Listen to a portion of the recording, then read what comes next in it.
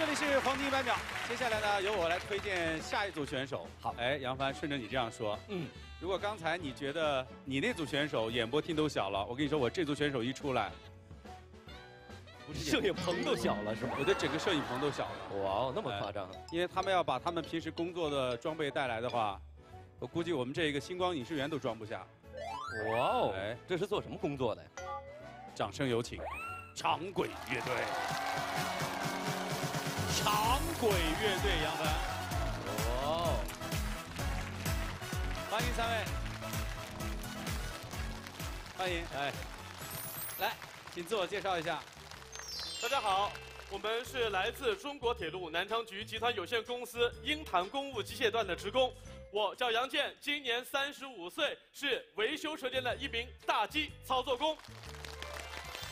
大家好，我叫万一良，我是从事钢轨焊接工作。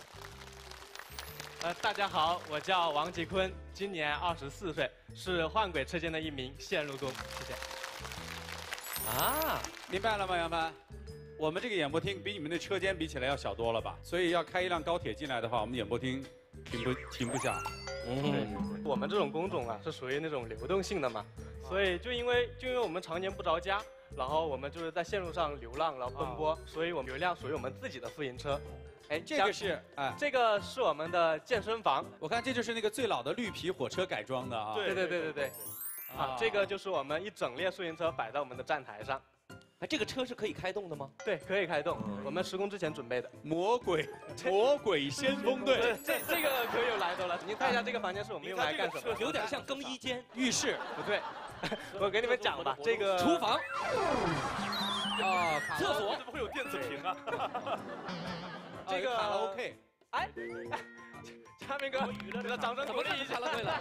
你怎么看出卡拉 OK 了？我熟悉啊，喜欢 唱歌的，那是点歌的屏幕是吧？对对对对，你看这个，而且音箱挂在这个上角，哎，啊，我们都是那我知道了，你们的歌声都是魔鬼般的歌声。其实刚才这组照片已经释放了一些信息了啊，就是说他们的移动的家上面有卡拉 OK 唱歌的地方，有健身，哎有开会，有洗澡，还有生物厕所都有。大哥，我的意思是，这几项你们不方便在这儿展示，啊你们可能是方便展示的是歌声。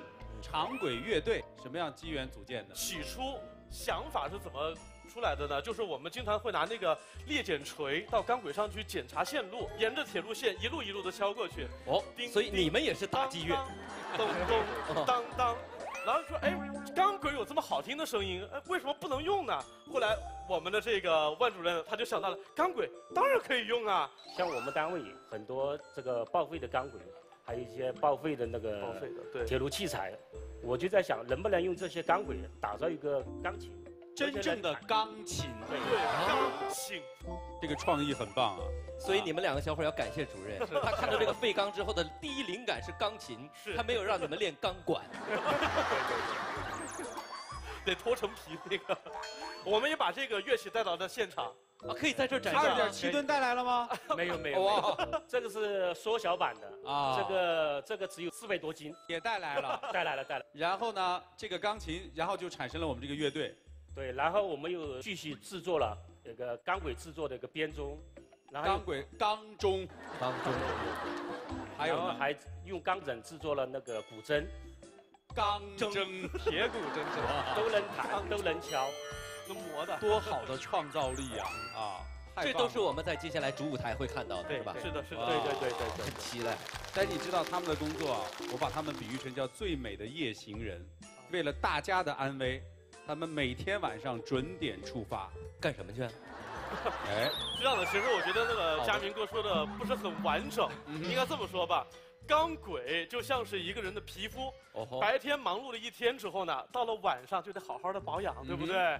所以我们呢工作就是将忙了一天的钢轨利用夜间的时间进行保养，保证它第二天能够更好的投入工作，保证旅客列车的安全。这还是我们真的不了解。是的，是的，原来铁路晚上要保养。对对对对对。大概工作的时间是基本上我说一个最普通常见的时间点，一般是晚上十点到第二天早上六点。或者这么理解，嗯，没车的时候，对对，所以我们应该把掌声送给他们，好不好？我们平时高铁出行我们的路线的安全真是靠他们夜间这样一厘米一厘米的去检查、去呵护。就像你刚才所说的是皮肤，但其实也是我们每位乘客的生命安全。是，那我来问一个问题啊，说给铁路保养，它怎么保养呢？是擦，还是蹭，还是贴个面膜什么？快点，你还真会联想。啊，是这样的，我们的保养啊，主要是由打磨和维修两个部分组成。哦，啊，打磨车我们知道钢轨使用的年限比较长了，钢轨的表面会有一些锈迹，而打磨车呢就会把钢轨表面的那些锈迹啊磨得非常平顺，零点一毫米的偏差都会带来非常致命的危险。打个最简单比方，如果钢轨上有零点一毫米的一个小小的锈口，就是有一个锈疙瘩，如果没有磨干净的话，嗯高铁的速度那么快，往上一过，旅客的感觉就会，哼。啊，狠狠地震一下，给人的感觉就像是已经有四级地震这么严重。哇，所以我们的要求呢，就是钢轨的表面不能有任何的疙瘩，零点一毫米也不能放过。谢谢谢谢啊，谢谢。呃，真的是很很感动啊！因为我们都知道高铁现在是我们中国的名片啊，嗯，但我们真不知道我们这张名片打磨的这么精细、这么仔细。确实因为车速太快了，对吧？而像我这种旅客又喜欢在高铁里边溜达来溜达去的，呃，这个不影响，我们就是保证旅客列车的安全，平稳了就是中国最好的名片。说得好。我们接下来期待你们精彩的表演，来，请说出我们的口号。是金子，总会发光。来，请转身。此时此刻，要提醒电视机前正在收看我们节目、想参与我们节目的朋友，请注意屏幕上这两个电话号码，这是我们栏目组的唯一报名电话号码。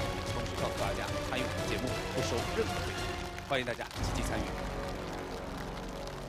黄金一百秒计时开始。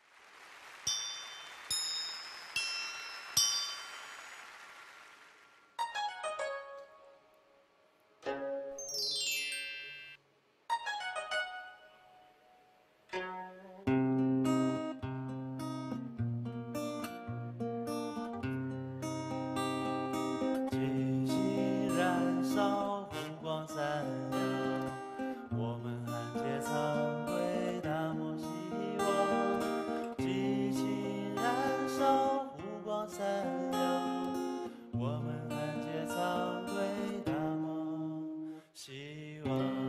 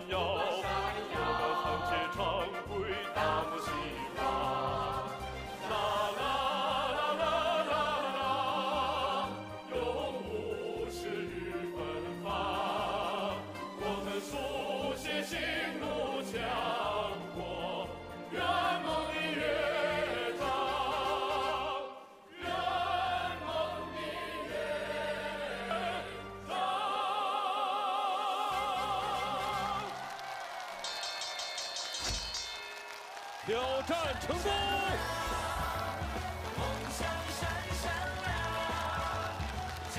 祝贺祝贺！那接下来我们先来看一下票数？一百秒钟，长果乐队赢得了多少支持票？一百二十七票。孟金源的黄金项链略表我们的心意，感谢你们的辛苦付出，谢谢。谢谢。